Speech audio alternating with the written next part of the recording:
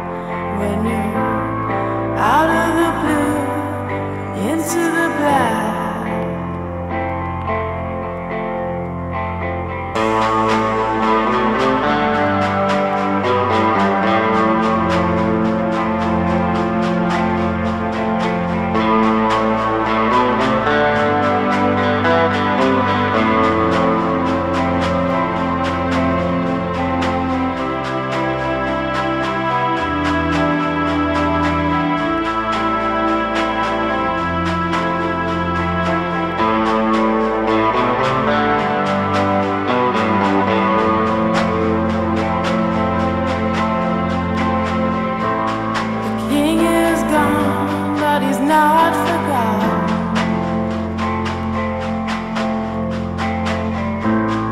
This is the story of Johnny Rock.